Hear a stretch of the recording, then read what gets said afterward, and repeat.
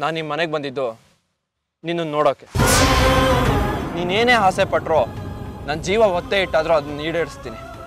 ಆದರೆ ಒಂದು ಕಂಡೀಷನ್ ದಿನಕ್ಕೆ ಒಂದು ಸಲ ಆದರೂ ನೀನೇ ಬಂದು ನನಗೆ ಮುಖ ತೋರಿಸಿ ಹೋಗ್ಬೇಕು. ಇಲ್ಲ ಅಂದರೆ ನಿಮ್ಮಪ್ಪ ಅಲ್ಲ, ಅವರಪ್ಪ ಇರಲಿ. ನಾನು ನಿನ್ನ ಬಂದು ನೋಡ್ಕೊಂಡು ಹೋಗ್ತೀನಿ. ಯಾರಿಗೂ ಎದ್ರಲ್ಲ ಯಾಕಂದ್ರೆ ನೀ ನನ್ನ